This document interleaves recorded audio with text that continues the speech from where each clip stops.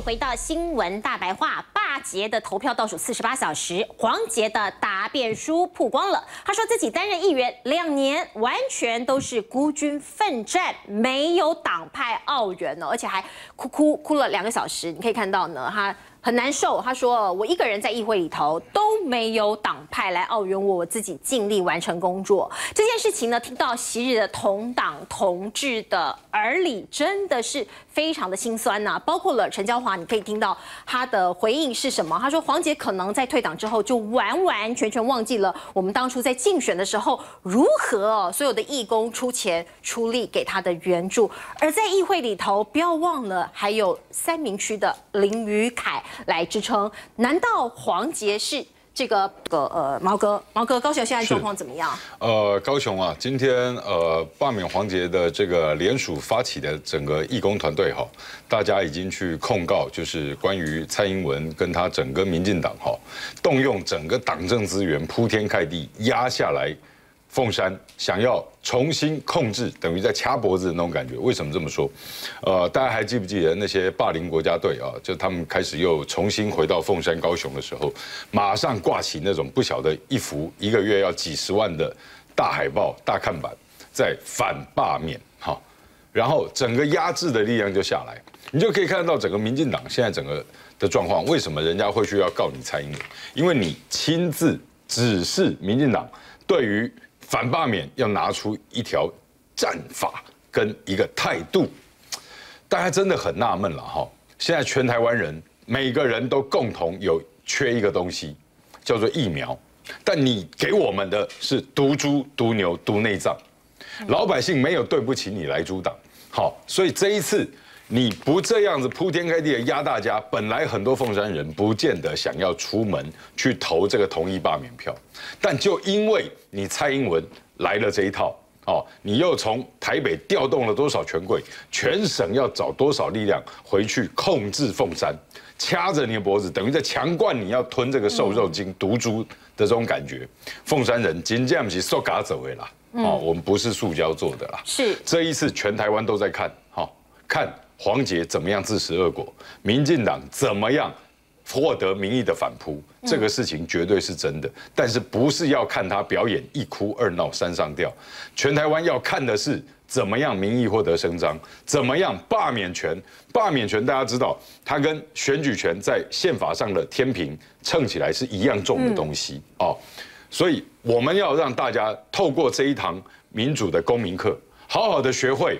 我们自己老百姓为什么叫中华民国的那个民，就是直接民权，就是主权在民。你必须醒过来，要不然这些恶心的政客骗完选票骗钞票一样，谁上来都给你这边装。他只要演技好，只要够会说谎，他就可以在那边吃香喝辣。选举到了就吹动你的政客妄想症，然后让你自以为你是蓝的或绿的啊！我请问一下。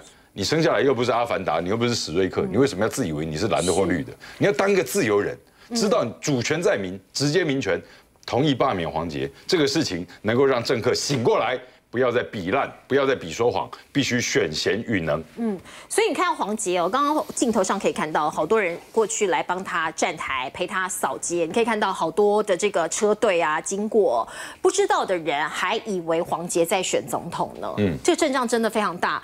不过黄杰一方面享受这样子的资源，另外一方面又说他是一个人孤军奋战，是不是有一点点在这个把实力哦当做免洗块？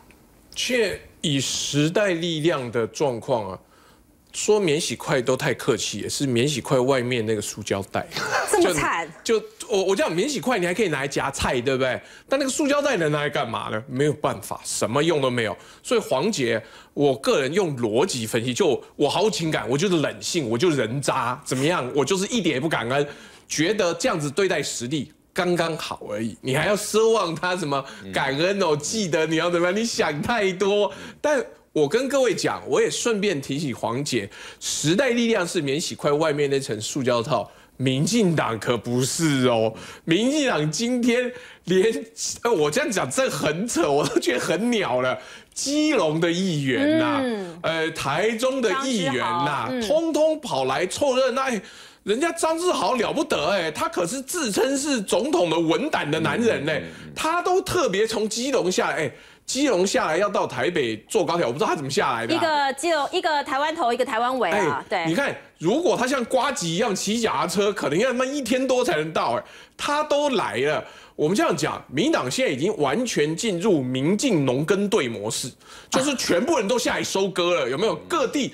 一方有难，八方收割啊！现在各地来都是一个一个将来要算回来的。哎，我们这样讲，农农都来，然后于天也来。哎，于天要花他打电动手游的时间来帮你站台。高铁上面也可以打。哎，不是，那下来站的时候总不能一边在那边打。呃，请大家支持黄姐。你怎么知道没有？不好就有。对，我跟你讲，手游一克值千金呢，连。于天都把他宝贝的打电动时间拿来支持黄杰的时候，我们这样讲，请问黄杰以后怎么还？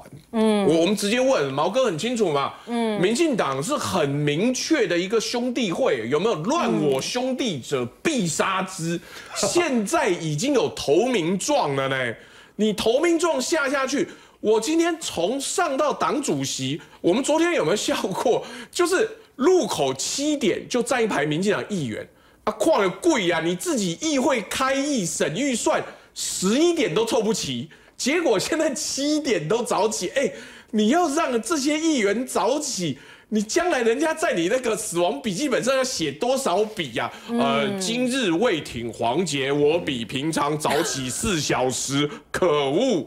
那黄杰日后要怎么还？我跟你讲，黄杰肝胆涂地都不够还，因为。这是整个民进党在挺你哎，民进党，当然我明白，民党背后目的就是他希望说以后这个罢免，我们先杀杀罢免方的锐气，然后以后呢，我们以后就可以拿这个东西来救吴思瑶，呃，救吴思瑶哦，没有要救陈柏伟哦，先讲清楚，救吴思瑶，所以他全党都下来，连台北市。党部主委都下来，而且还讲错话了。对，他还以为他是台北市议员。来台北市议员，留在台北市留在台北市议会当台北市议员。这句话会成真哦。我跟你讲，那因为黄杰自己已经删掉“永远留在高雄”那个“永远”啊，所以你也不能，就是人家志在千里。所以我我们还是最后还是讲白了，时代力量真的是好欺负。那现在连陈娇华出来讲一讲。也没什么效，因为时代力量的那个支持度也已经不知道跑到哪里去了。下下一次做那个这个这个政党票的时候，不知道能不能选出三分之一个立委。看起来恐怕不行。可是呢，必须讲，我们台湾人最注重的就是人情义理，尤其是高雄人哦，大家不要忘记哦。如果你做人都不成功，你怎么做其他的事情呢？大家要提醒一下黄杰小妹妹，你记得吗？当初二零一八年你什么都没有的时候，所有时代力量的义工啊，爸爸妈妈啊，哥哥姐姐啊，阿伯阿姨呀，帮你什么呢？你脚下踩的那个肥皂箱哦。就是一个已故的志工亲手做的哦，许多物资都是很多人从屏东载过来。为什么？因为屏东那时候有一个议员他呃退选的哦，麦克风哦都是大家一人一千凑出来的，连你自己的保证金哦，竞选的保证金的经费都有大家一块钱一块钱的捐出来。难道这些恩情你都可以不记得了？现在有大党了，有大党出来你就哇鬼皮西瓜微短边。我相信高雄人。很讨厌这样的人哦，这绝对是我觉得千子姐讲到一个重点了哈。黄杰，大家记还记得他怎么离开时代力量的吗？他是养人头党员被抓包了，好，养人头党员被抓包，现在这个案子还在法院里面了哈。啊，黄杰养人头党员被抓包，二十几岁的人就会来这一套，这么降纲、这么恶心的事情、犯法的事情他都敢做，然后装的没有事情，然后还。更小登修基退出时代力量，这个人吃干抹净不在话下。好，他踩着那个肥皂箱，自从被时代力量讲出来说，哎，你踩那个肥皂箱是我们以前已经一个走掉的支持者替你做的呢，你怎么可以这样忘恩负义？啊，讲了这句话之后，黄杰再也不踩那个肥皂箱。这意思是不是本大小姐没欠你了？好，我就不用嘛。那你黄杰可不可以交代一下？当你们的时候，就恰压 I C 尊，好，时代力量每年的政党补助款拨到高雄，你们用了多少？你自己花了多少？你们时代力量关起来炒的，不就也就是要抓那些资源吗？那现在大家一言不合，哦，拆伙了，然后你直接倒到民进党那边去，哎，民进党看了这种，这样你要背骨的狼，人家心里头不会怕吗？